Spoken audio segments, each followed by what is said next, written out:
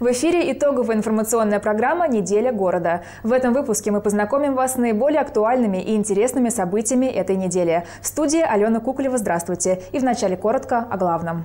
Первое заседание и первое сложение полномочий. На неделе избрали руководящий состав новой областной думы, а депутат Андрей Глазунов готовится пересесть в министерское кресло. 100 тысяч тонн этилового спирта, более 30 тысяч бутылок готовой продукции. Бойцами СОБР взят штурмом нелегальный спиртзавод в Рязанской области. Иконостас сусального золота, икона от мастеров из Палиха. Реставрация Христорождественского собора Рязанского Кремля подходит к концу. 3 октября мир праздновал 120-летие со дня рождения Сергея Есенина, тонкого лирика, мастера пейзажа, певца Руси и знатока народной души. В Константинове традиционный праздник «Звени, звени, Золотая Русь» проходит с 1985 года. Несмотря на внушительную дату торжества, стихи поэта остаются молодыми и любимыми. Мне нравятся очень его стихи. Нравится, что он писал о Руси, вот прославлял женщину, и вот это мне близко, очень дорого. Те места, в которых он вырос, они, э, ну, они очень красивые, они потрясающие, они вдохновляют, они дают какие-то особые силы. Кульминацией праздника стало представление музыкально-поэтического спектакля Сергея Безрукова «Хулиган. Исповедь». Сергей Безруков – самый известный сценический экранный Есенин. Он играет поэта 20 лет. Актер рассказал журналистам, что произведения Есенина способны объединять братские народы даже в кризисные ситуации. Есенин я читал в самых разных странах нашего ближнего зарубежья. Наши братские народы. Сейчас сложное время. Понятно, что политически очень сложное время. Порой братские народы не понимают друг друга. Актер отметил, что уникальность Есенина заключается в том, что он показал пример истинной любви к России. Первое заседание Рязанской областной думы шестого созыва на этой неделе прошло в отреставрированном гербовом зале здания бывшего дворянского собрания. В повестке избрание руководящего состава, председателя, его заместителей, руководителей комитетов. Депутаты областной думы шестого созыва впервые собрались новым составом на первом заседании. С приветственной речью к ним обратился глава региона Олег Ковалев. Губернатор отметил, что работы у парламентариев в современных экономических реалиях будет много. Решать вопросы, касающиеся не только сохранения экономического потенциала области, но и ее развития, нужно сообща и слаженно. В состав областной думы шестого созыва вошли 36 депутатов, из них 32 от партии «Единая Россия», двое от Коммунистической партии и по одному из «Справедливой России» и ЛДПР. Сегодня парламентарии открытым голосованием избрали председателя. Им стал Аркадий Фомин, имеющий опыт такой работы. Он возглавлял Думу пятого созыва. Также депутаты избрали первого зампреда облдумы. Им стал Александр Шевырев. Еще одним заместителем председателя избран Михаил Кривцов. Кроме того, на заседании были назначены руководители восьми комитетов и двух комиссий. Особое внимание депутаты уделили назначению члена Совета Федерации от Рязанской областной думы Николай Булаев, по мнению коллег, стал единственным и наиболее компетентным кандидатом на этот пост. Уже спустя два дня после первого заседания в Рязанской областной думе стало на одного депутата меньше. Неожиданно свои полномочия сложил избранный по 16-му одномандатному округу Андрей Глазунов. Это решение связано с предложением, которое поступило Глазунову от губернатора Олега Ковалева возглавить Министерство региональной безопасности. Пока Андрей Александрович готовится пересесть в министерское кресло, депутатское освободится почти на год. Выборы депутатов в 16 округе теперь пройдут только в сентябре следующего года. Это очень ответственный пост, но учитывая задор, молодость, опыт законотворческой работы, опыт работы в исполнительных властей, имея юридическое образование, Андрей Александрович, я думаю, справится с возложенными на него задачами.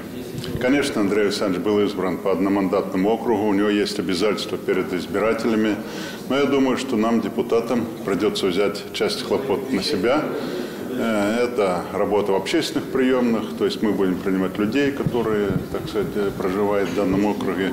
Ну и все его обещания нам придется исполнять. В историческом здании Дворянского собрания, где заседали депутаты, состоялось еще одно важное событие. Открылась экспозиция, посвященная истории земства. Именно в этом здании 150 лет назад открылось первое собрание Рязанского уездного земства.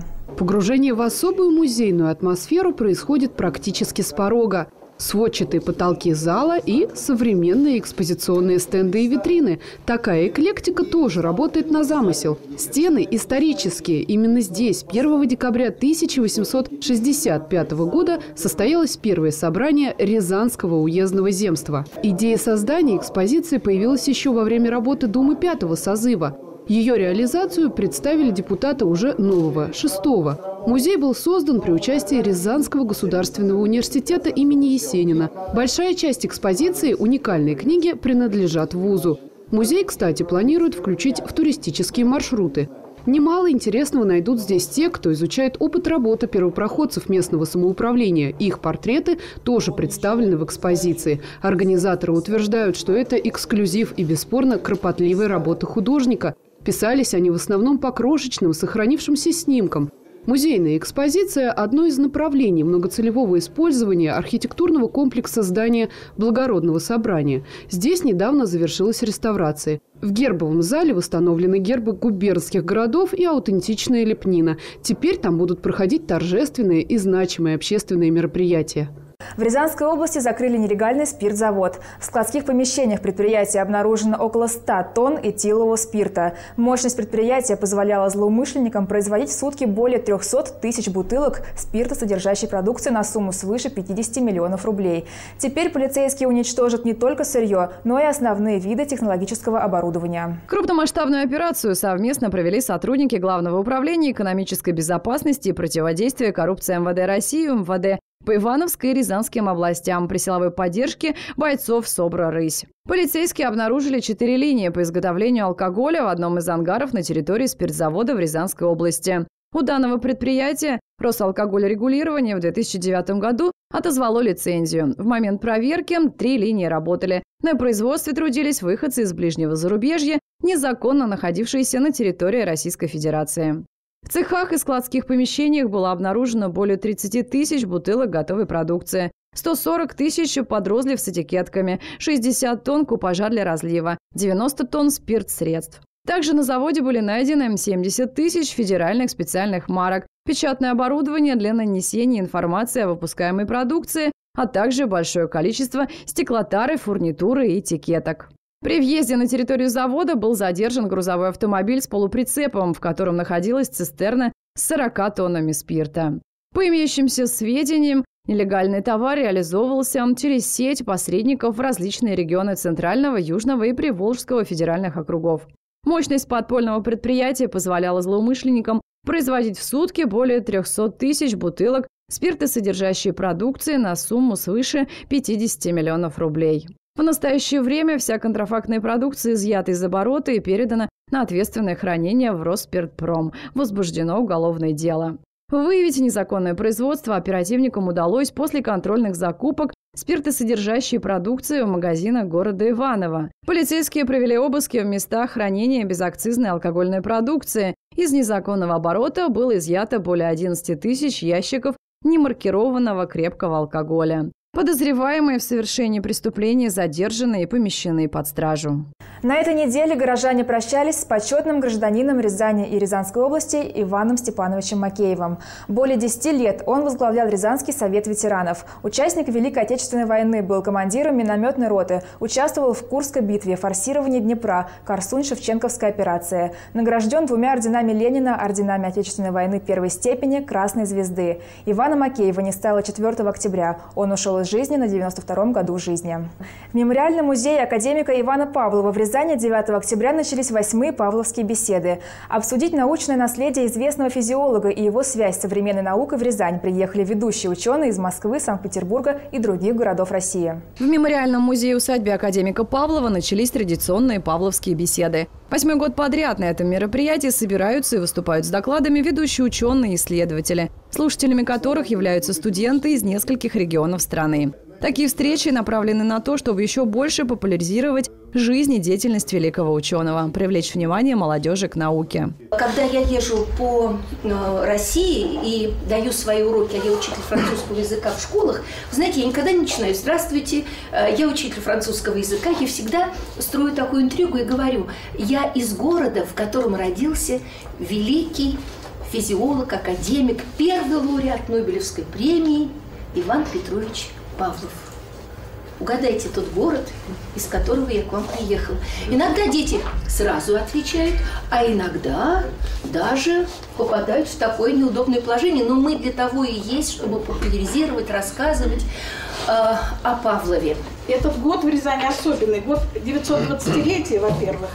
Ну и все мы с вами отмечали 70-летие Великой Победы. И я не могу не сделать акцент на этом, поскольку распоряжение о создании музея было подписано Алексеем Николаевичем Косыгиным 2 июня 1944 года, когда шла война. Вот какова была духовность все-таки нашего народа. Думали о победе. И поэтому нам просто нельзя сдавать э, своих позиций. Научная деятельность Павлова продолжалась более 60-летий. С его именем связаны все самые выдающиеся достижения в области физиологии кровообращения, пищеварения и высшей нервной деятельности. Академик Иван Петрович Павлов – почетный доктор Кембриджского университета. Член 132 Академии и общества старейшин физиологов мира. Он является первым русским Нобелевским лауреатом. Павловские беседы – это не только дань уважения Ивану Павлову. Это прежде всего возможность передать знания молодым студентам. Российские следователи на протяжении нескольких лет разыскивают серийного убийцу. По данным следствия, мужчина орудовал во многих регионах страны, оставляя за собой кровавые следы. Преступник объявлен в федеральный розыск. Подробнее расскажет Олеся Харлина.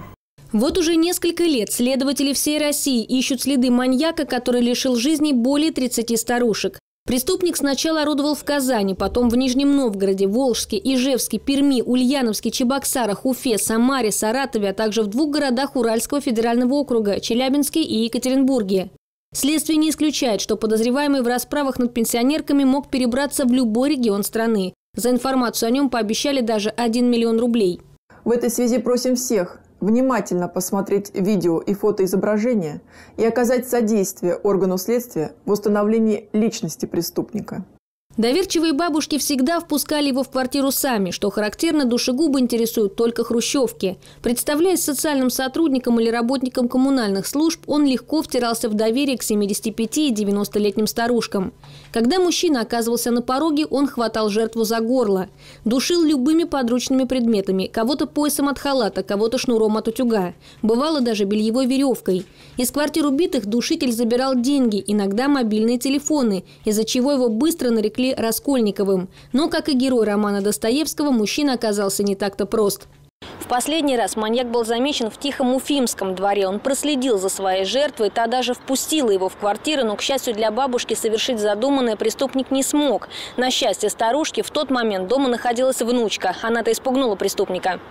Видеозапись, на которой запечатлен предполагаемый убийца, попала в руки оперативников совершенно случайно. Всегда осторожный, он до сих пор не оставлял никаких свидетельств своих преступлений. Мужчина поджидал пенсионерку на лестничной клетке, затем предложил помочь донести сумку, зашел в квартиру и через несколько минут убежал. Следствие располагает даже ДНК серийного маньяка, но ни в одной базе он не значится, а потому до сих пор остается на свободе.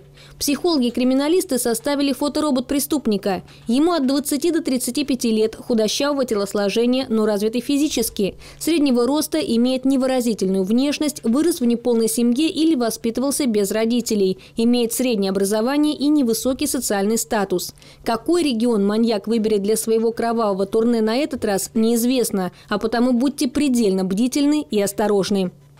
На этой неделе в региональном правительстве состоялось торжественное вручение государственных наград. Были отмечены люди, которые, по мнению властей, внесли большой вклад как в развитие региона, так и страны в целом. Своими специалистами гордится каждый регион. И, конечно, Рязань не исключение. Губернатор области Олег Ковалев в торжественной церемонии наградил тех, кто внес вклад в развитие нашего региона почетными знаками и знаками отличия, а также грамотами.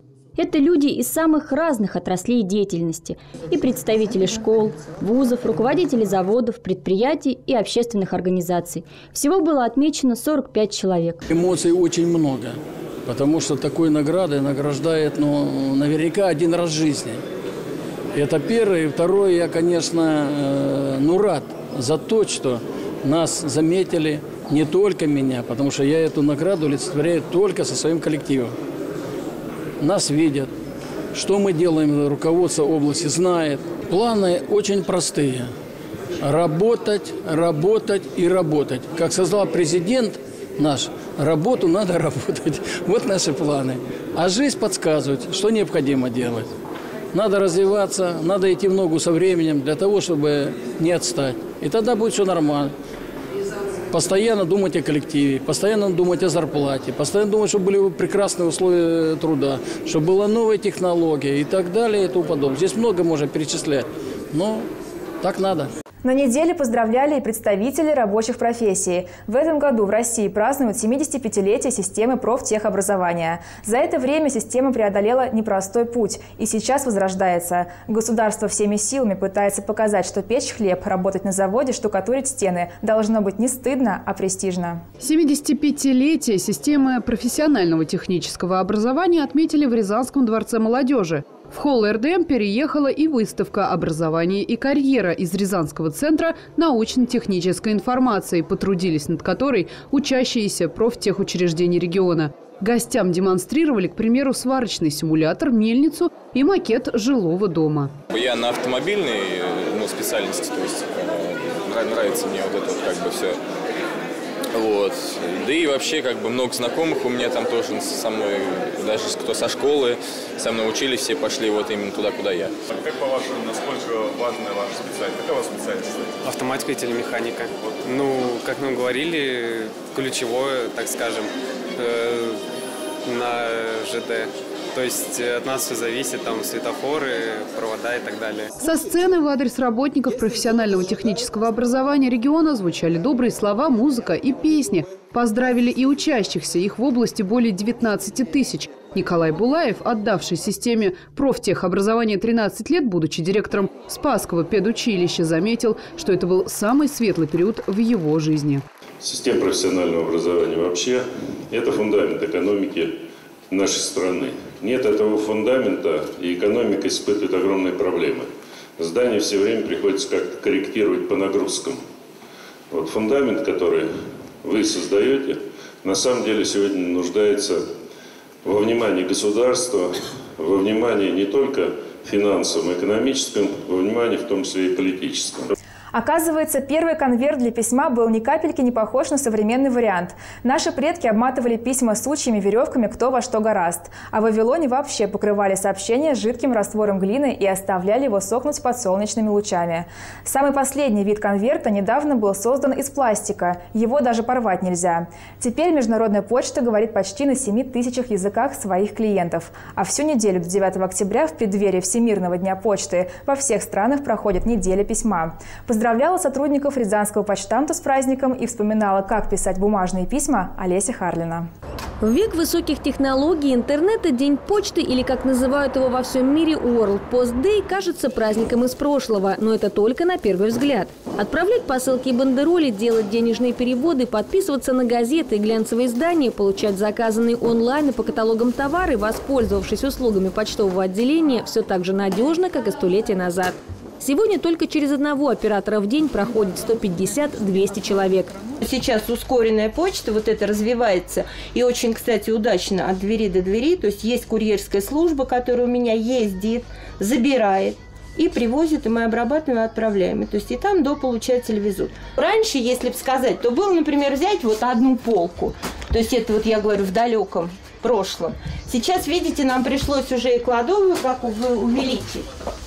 Ольгу Давыдову называют потомственным почтальоном. Она пришла работать в 95 году. Сначала под руководство своей мамы. И вот уже 10 лет возглавляет центральное отделение Рязанской почты сама. По моему отделению я могу сказать в пределах 120 тысяч в месяц исходящей корреспонденции. И я считаю, что все-таки писать письма рукой – это довольно-таки интересно и приятно получателю. Написание письма оказывается вообще очень полезная процедура, сродни самостоятельной психотерапии. Современная молодежь, строча бесчисленные сообщения в социальных сетях, и не знает, каково это – месяцами ждать ответа, написанного рукой близкого человека. Теперь почтамты проводят даже уроки письма. У нас есть специальные конверты, которые выпущены к этому празднику. Есть специальные календарные штемпель. Проводим спецгашения красивые. Уходят эту неделю праздничные конверты. А международные Международная неделя письма, она приурочена ко Всемирному дню почты а, в честь образования Всемирного почтового союза. Татьяна Обрядина вот уже 20 лет наблюдает за увлекательным процессом, как почтальоны всего мира нога в ногу шагают вместе с неумолимым прогрессом. Почта – это давно не только письма, посылки и квитанции, но и многочисленные конкурсы, викторины, праздники, акции. Например, абсолютно любой посетитель может оплатить копеечную квитанцию и обеспечить подпиской журналов ребят из детского дома. Я хочу в преддверии этого праздника поздравить всех своих коллег с, с праздником, пожелать им здоровья, успехов в работе, выполнении всех поставленных задач. Я всех поздравляю, всех почтовиков, наших российских почтовиков, почтовиков всего мира с нашим праздником, со Всемирным днем почты. С удовольствием присоединяемся к поздравлениям и идем писать настоящие бумажные письма. Все-таки есть в этом своя неповторимая романтика. Реставрация Христорождественского собора Рязанского Кремля подходит к концу. Иконостас покрыт двойным сусальным золотом. Иконы дописывают мастера из знаменитого села Палех. Теперь на стенах и потолке всего храма фрески и узоры. Реставрацию собора планируют завершить к концу октября. Марина Комиссарова побывала в храме и пообщалась с мастерами. Реставрация Христорождественского собора на территории Рязанского Кремля уже подходит к концу. Вскоре прихожане смогут увидеть убранство храма таковым, каким его видели рязанцы до революции. Иконостаса, который был когда-то здесь, в этом храме. А, этот иконостас был по разработан и именно вот специалистами Шумовской школы, нашей Рязанской иконописной школы, который был вот и сейчас, почему она называется, и реконструкция нынешнего иконостаса, реконструкция того иконостаса. То есть, э, то есть он э, иконостас полностью повторяет тот иконостас, который был когда-то до вот, ну, разрушенный уже после 17 года. Многие элементы росписи иконостаса со временем были утеряны. Их места заменили современные иконы и изображения святых. Однако епархия Рязанской области сделала все возможное для того, чтобы люди в скором времени увидели отреставрированный Христорождественский собор с восстановленными древними росписями храма. В настоящее время там подходят к завершению работы по воссозданию дореволюционного облика святыни. При восстановлении росписи реставраторы основываются на старинных документах и чертежах, которые удалось сохранить до наших дней. Реставрация Христорождественского собора Кремля началась весной. За это время, кроме внутренней отделки, были проведены и наружные ремонтные работы. Была восстановлена кровля. К завершающей стадии подходит реставрация фасада здания. И уже совсем скоро начнутся работы по покраске крыши. Со времени освящения нашего собора в 2002 году э, реставрация этого собора проходила постепенно, этапами. Сперва была отреставрирована часть вот передняя, когда мы заходим сюда, вот часть трапезная называется, она была отреставрирована, полностью расписана. Здесь установлено, как было когда-то, по старым росписям, все. Вот. И пришло время, когда вот пришло время расписывать и вторую часть, то есть четверик, как вот с восьмериком, э, вот этой части храма. И, и параллельно с этим, параллельно с росписью, параллельно вот с росписью четверика шло, шла э, подготовка э, к реконструкции. Прямо сейчас идет реконструкция иконостаса. Это целый научный проект Министерства культуры России, реализованный на средства прихожан и меценатов. Иконостас, который до 1917 года находился в храме, не уцелел – Известно, что его выполнили в начале второй половины XIX века иконописцы, известной в Рязани мастерской Шумова. Кроме того, палехские мастера сейчас расписывают стены и потолок собора. Планируется, что отреставрированный христорождественский храм откроют для прихожан уже в середине октября. Рязань не вошла в топ-50 самых доступных городов России для отдыха в выходные. Бюджет для недорогого путешествия на двоих почитал портал о туризме travel.ru. При составлении рейтинга учитывали стоимость проживания в недорогой гостинице в центре города с субботы на воскресенье, ужин в ресторане и цены на билеты в популярный музей города. В рейтинге из 83 городов для самого экономичного отдыха Рязань заняла 56-ю строчку. Согласно подсчетам, уикенд в городе не самый бюджетный. Гостям придется потратить чуть больше 3000 рублей в сутки. По версии портала в топ-5 достопримечательностей Рязани входит Кремль, музей-усадьба академика Павлова, музей-заповедник Старая Рязань, художественный музей имени Пожалстина и родина Сергея Есенина Константинова. Отдых в выходные в одной из столиц не намного дороже, чем в Рязани. В Санкт-Петербурге бюджет путешествий составляет 3180 рублей, в Москве 3480 рублей. На этом у меня все. Все новости вы можете посмотреть на сайте город62.тв. Мы прощаемся с вами до понедельника. Хороших вам выходных. Уважаемые жители города, Рязанская городская муниципальная энергосбытовая компания напоминает о необходимости своевременной оплаты электроэнергии, в том числе предоставленной на общедомовые нужды. Телефон для справок 40 20 40. 40 20 40.